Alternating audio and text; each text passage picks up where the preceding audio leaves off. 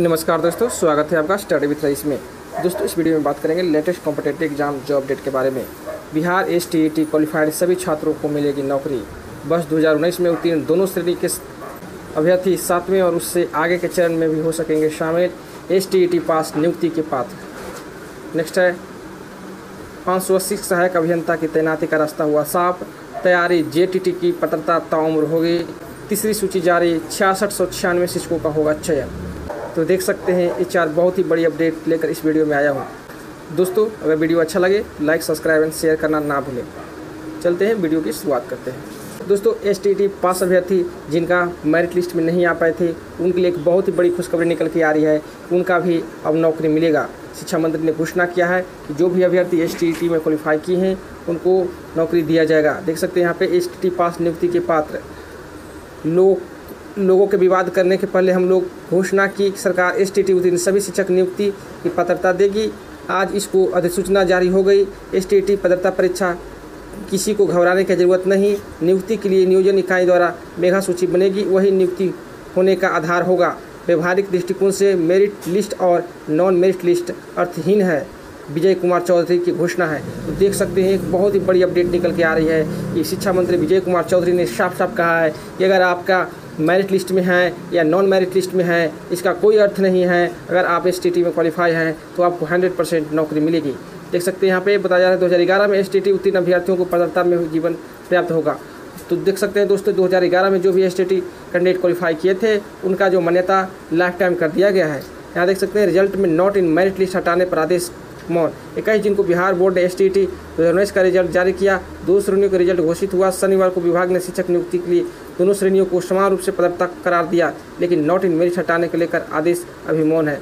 यहाँ देख सकते हैं छात्रों का मांग था कि नॉट इन मेरिट और मेरिट लिस्ट हटाने, हटाया जाए, जिससे लोगों के बीच में कन्फ्यूज़न खत्म हो जाएगा और सभी लोग अपने आप को क्वालिफाइड समझेंगे। लेकिन यहाँ पे अभी भी रिज़ल्ट पे नॉट इन मेरिट लिस्ट लिख रहा है, वो अभी भी वो असमंजस में है कि मेरा सिलेक्शन होगा कि नहीं। लेकिन शिक्षा मंत्री ने साफ़ साफ़ कर दिया है, जो भी अभ्यर्थी एस टी क्वालिफाई है, उनको हंड्रेड परसेंट नौकरी मिलेगा। देख सकते हैं पूरी न्यूज़ राज्य सरकार के शिक्षा विभाग ने आपके अपने अखबार हिंदुस्तान में छपी खबर का मुहर लगा दी है। माध्यमिक शिक्षा पात्रता परीक्षा एस टी में सभी अभ्यर्थियों को माध्यमिक, उच्च माध्यमिक शिक्षकों की होने वाली नियुक्ति में शामिल होने सकेंगे। शिक्षा विभाग के शामिल को इसके लेकर आदेश जारी कर दिया है। हिंदुस्तान ने 24 जून को अंक में ही खबर प्रकाशित किया था कि एस पास सभी अभ्यर्थी शिक्षक की नियुक्ति के पात्र होंगे। शिक्षा मंत्री की इस आशा की घोषणा के चौथे दिन शनिवार को शिक्षा विभाग के उप सचिव असरद फिरोज द्वारा जारी आदेश में कहा गया कि एसटीटी रिज़ल्ट को लेकर शिक्षा सचिव की अध्यक्षता के चेयर गठित चार सदस्यीय कमेटी की अनुशंसा पर विभाग ने निर्णय ले लिया है। जब रिज़ल्ट आया था और इस रिज़ल्ट के ऊपर सवाल उठने लगे थे तो चार सदस्यीय कमेटी का गठन किया गया था। उसी कमेटी ने अपना रिपोर्ट दिया है। यहाँ पर देख सकते हैं, सदस्यीय कमेटी के अनुशंसा पर विभाग ने निर्णय ले लिया है। एस टी उन्नीस के लिए न्यूनतम उत्तीर्ण के आधार पर घोषित क्वालिफाइड सभी अभ्यर्थियों को माध्यमिक एवं उच्च माध्यमिक शिक्षक के सातवें एवं आगे की नियुक्ति के चरण में शामिल होने का अवसर दिया जाएगा।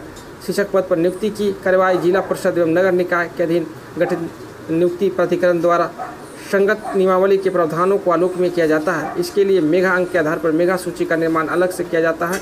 इस प्रकार शिक्षक पदाता परीक्षा में उत्तीर्ण सभी व्यक्ति संबंधित नियोजन इकाई के स्तर पर तैयार किए गए मेगा सूची में उनके स्थान व नियोजन इकाई के अंतर्गत उपलब्ध विषयवार या कोटिवार पद आधार पर नियुक्ति के पात्र होंगे। तो देख सकते हैं, एक बहुत ही बड़ी अपडेट निकल के आ रही है। अब देखते हैं दूसरी न्यूज़ क्या है।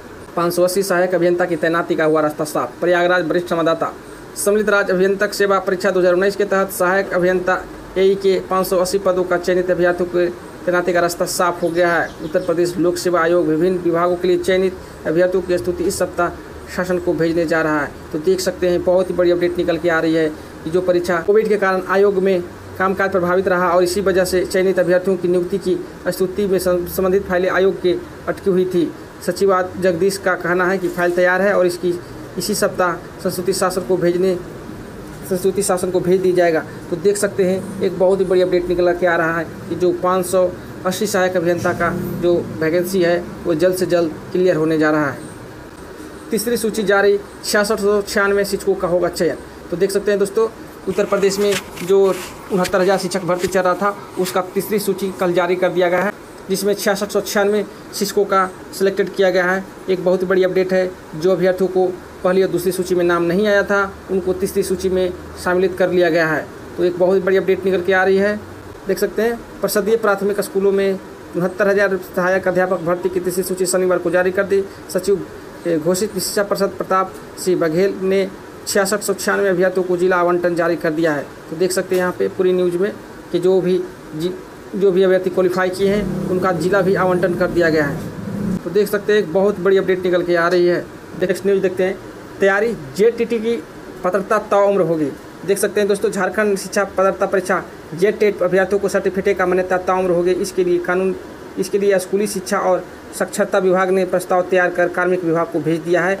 कार्मिक विभाग की सहमति के बाद कैबिनेट की स्वीकृति ली जाएगी। इसके बाद लागू कर दिया जाएगा। तो देख सकते हैं दोस्तों, यहाँ पे साफ़ साफ़ बताया जा रहा है कि जैसे ही कैबिनेट के स्वीकृति मिलती है तो जे टेट की जो उम्र है, वो लाइफ टाइम कर दिया जाएगा। राज्य में अभी भी करीब 1.01 लाख टेट पास अभ्यर्थी हैं, जिसे सर्टिफिकेट की मान्यता ताम रहने वाली है।